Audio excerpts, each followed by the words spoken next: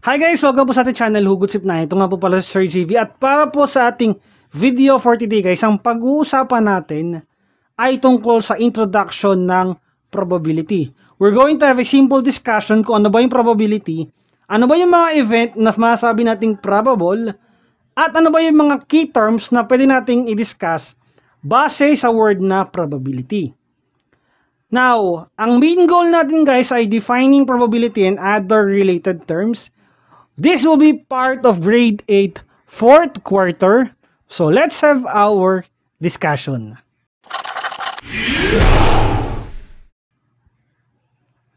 Now guys, pag sinabing probability, based sa ating mga definition na nakuha sa internet, so branch of mathematics that deals with uncertainty.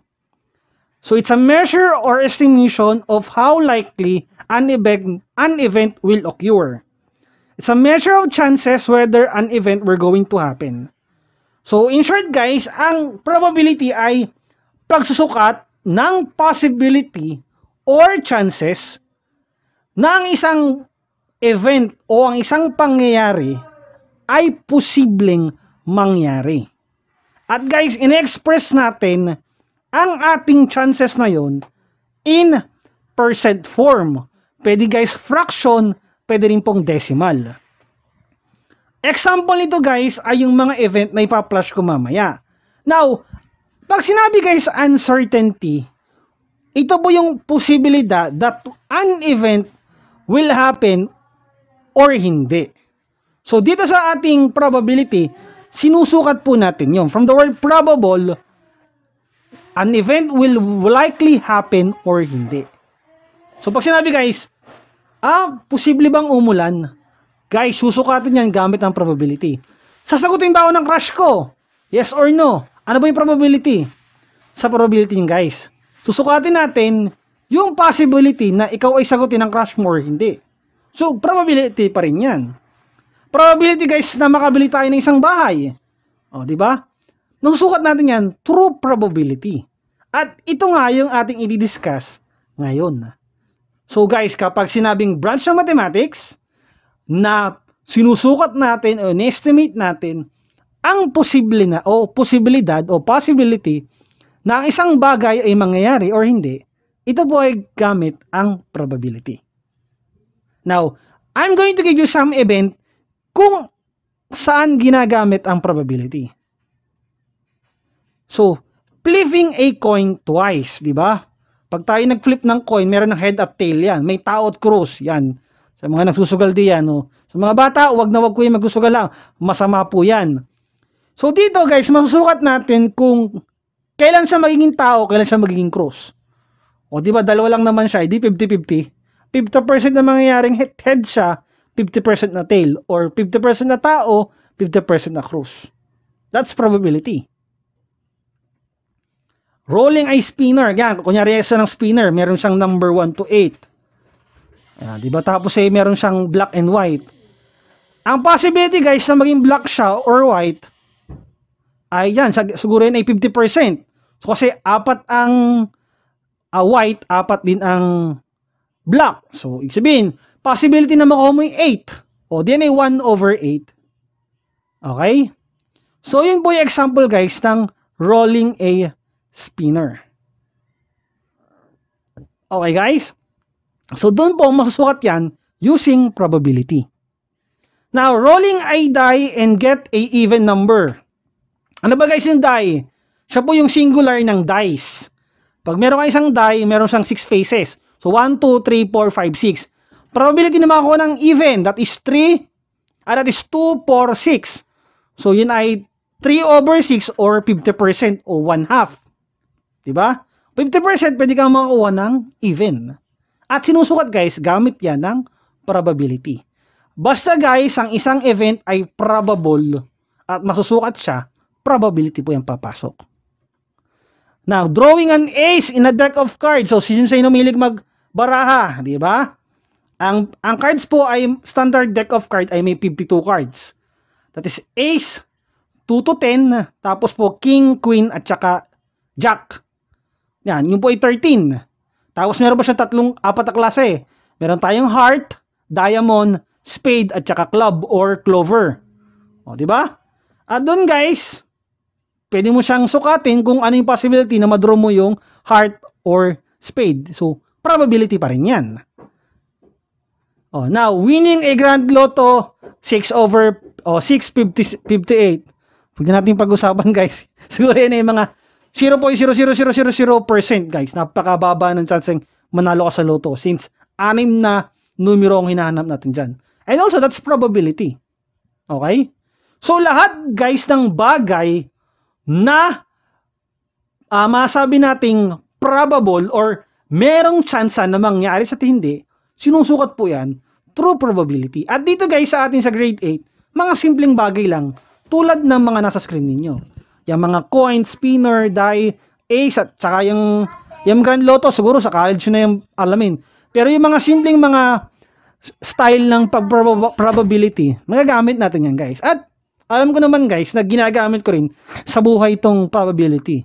Especially if I'm making some decision at pabor sa akin, that is probability.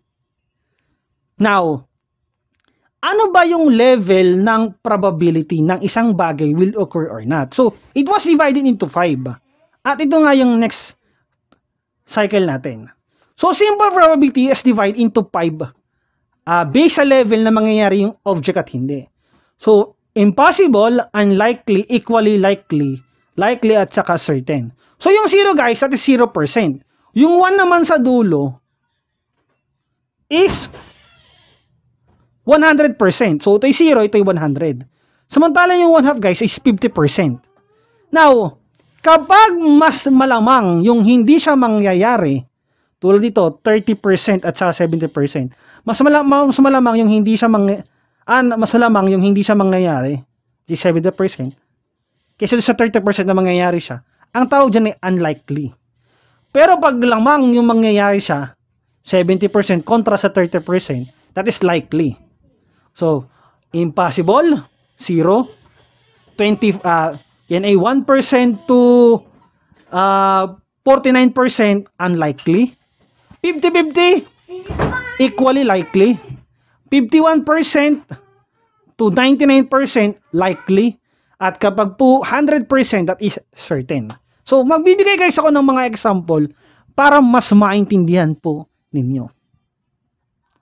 Next, first natin ay imposible. It means that it, we have absolutely no chance of happening. Hindi siya mangyayari, di ba? So, ito pa, sa crush nyo lang to eh. Ay, joke lang, joke lang po. Okay. Now, pag sinabing impossible, yan yan yung mga pagputi ng uwak, pag itim ng tagak. So, wala pang mga nakitang uwak na ano, yan, imposible mangyari yan. Yan ang mga word na sinasabi kapag imposible. Ah, magbabayad yan ng, ng utang kapag nilista sa tubig. Ko, buti imposible mangyari. Yun, kasi pag naglista ka sa tubig, talagang naglalaho yun, di ba? Now, example nito dito sa, sa, sa, ilalim natin. Only three red marbles are inside the bag. The bag pala rather imposible maka-full ka ng blue sa bag kasi tatlo nga naman puro red yon. Eh, imposible magkamera ng blue. That's impossible. That is 0%. Okay? Pag sinabing unlikely, lamang yung hindi mangyayari siya,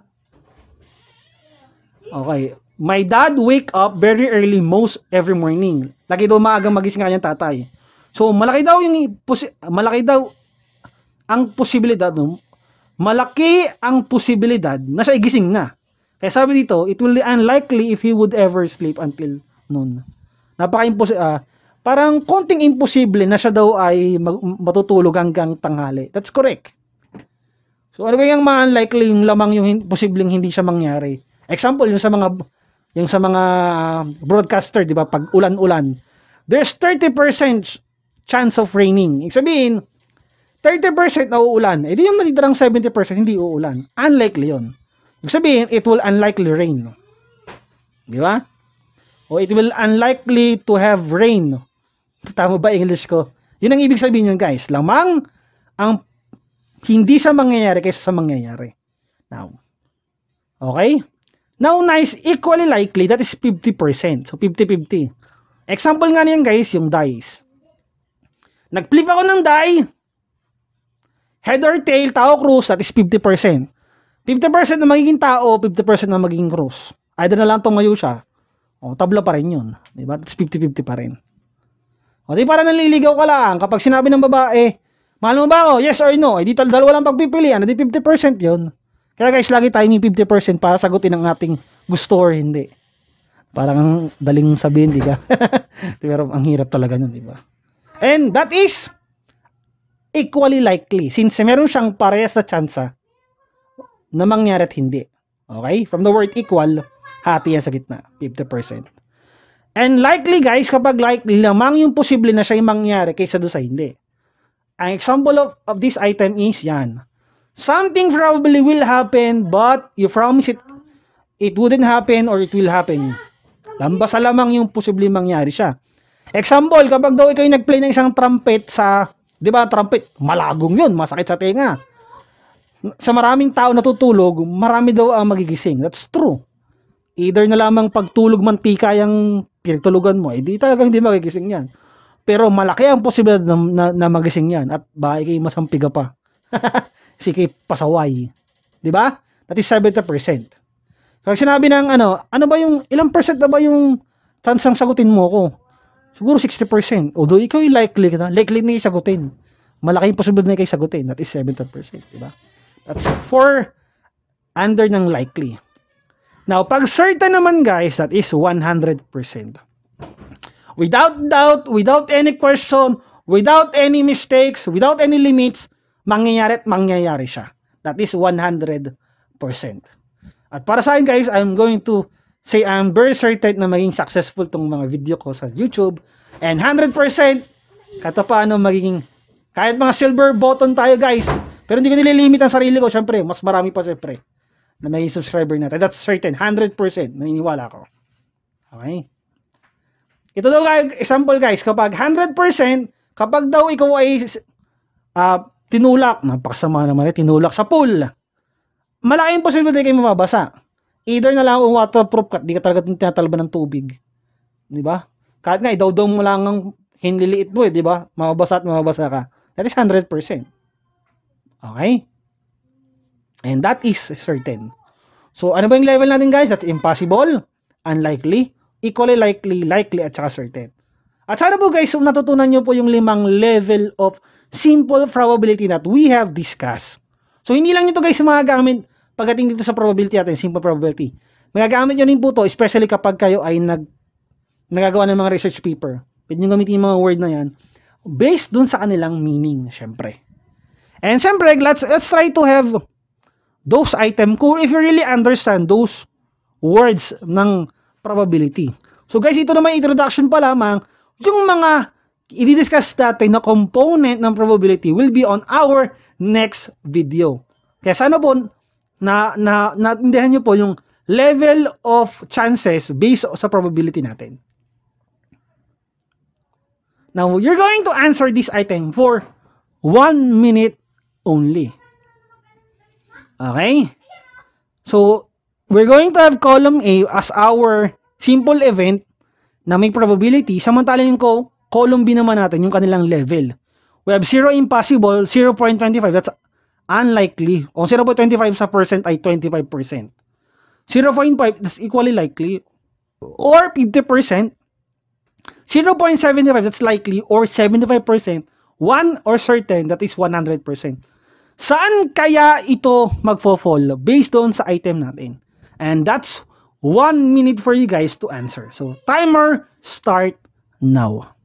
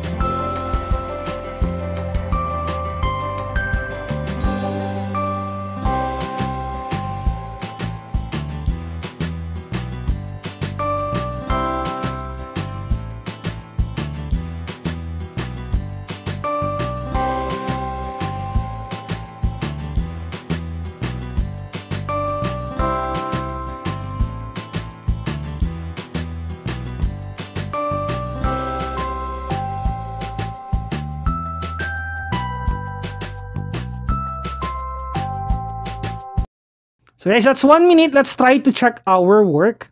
So mamaya naman, 5 minutes ang bibigay ko sa inyo para sagutan niyo isang item na alam kong kayang-kaya naman ninyo. Now, number 1, letter lang ha. Base naman din sa ano, nakalagay, match eh. Siyempre, letter ang gagamitin natin. There is 7 days in a week. That is 100%. That is certain. We have Monday, Tuesday, Wednesday, Thursday, Friday, Saturday, Sunday. Hindi kasama guys yung today, yesterday, ha. Bakit? Hmm, hindi kasama yun, hindi kasama yun. Di ba? That is 7 days only. Jack lang po, jack lang po. Baka sabihin nyo today, yesterday, baka siyam, hindi po. We only have 7 days in a week. Sa Tagalog, yeah, that's, that's lunes, martes, merkules, huwebes, sabado, linggo, at saka po sabado, uh, biyernes. Nakalimutan ko po ang biyernes. That's 7 days, di ba? Now, next, next year, the month after November has 30 days. That is A, impossible. Kasi po lagi siyang may 31 days. O, di ba? It has 31 days, not 30 days. So, December 31, lagi po siyang 30 days. The month after November is December. At yung po ay napaka-imposible maging 30 lang. Ah. Di ba? Now, that's correct guys. So, that's letter A, impossible. Okay? Tama po ba kayo doon? Very good. Drawing a red card in a deck of cards. That is C. 0.5 or 50% equally likely. Now, sa deck of card guys, hindi kasama yung mga joker. That is uh, 13 na heart, which is red. 13 na diamond, which is red. 13 na spade, which is black. 13 na clover or flower ang sabi nila sa iba, that is also 13. So 26 over 26 26 black and red 7ly 50%. So 52 26 over 52 that is 50%, di ba? Letter C. Letter B naman for number 4. Choose a letter M in a bag containing magnets for each letter in the alphabet. So baka ang ibig sabihin nito guys, yung word ng magnet, hindi ako nagkamali, ay baka isusulat mo yung M-A-G N-E-T-S. That's 7. 1 over 7 yung M nun. So, yung possible na makuha mo yung letter M from the word magnet ay 1 over 7.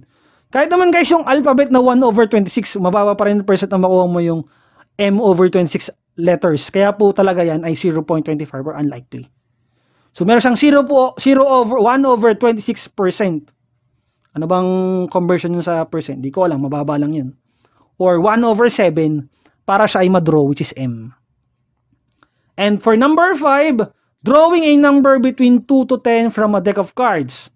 So, from 2 to 10, kung di po nagkakamali, that's 9 cards na apat, that's 36 over 52.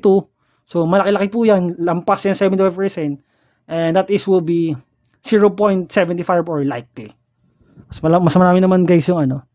Kasi sa deck of cards, ang matitira na lang ay ace, jack, queen, at saka king. So guys, I hope you learn from this item. Kasi po, next stop natin guys ay quiz na natin. Okay? So let's have our quiz on this item. Now, ang gagawin nyo lang dito guys ay simpleng-simple. I-shade nyo lamang po siya. Whether this item can be said as probability based doon sa level niya. Ang number 1 natin ay equally likely. Number 2 na number 2 natin ay impossible. Uh, number 3 natin ay certain. At saka number 4 natin ay very likely. And you're going to answer them within 5 minutes. Try to shade the balls. Okay? And that 5 minute will start now. Good luck guys.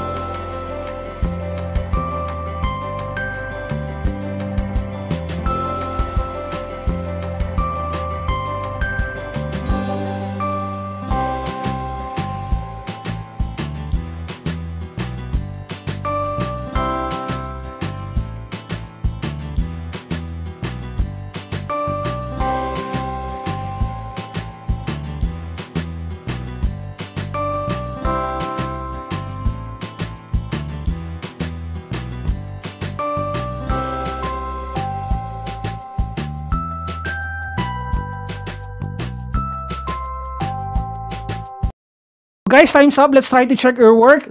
Based on this item, ito po yung ating ma masagutan natin. Sa first item natin, nag-shade ako guys ng anim. So, equally like that's 50%. So, anim ang shade mo dyan. Pag nag-shade ka ng anim, automatic tama ang sagot mo. For number 2, we're going to shade all of them.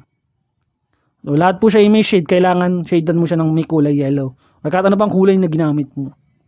For number 3, certain that is lahat sila para 100% maka, makapag-draw ka ng shade. At number 4, yun, napa ano na, napa ayos na. So 2, 4, 6, 8. So 8 item was shaded para po last lamang yung shaded kaysa dun sa hindi.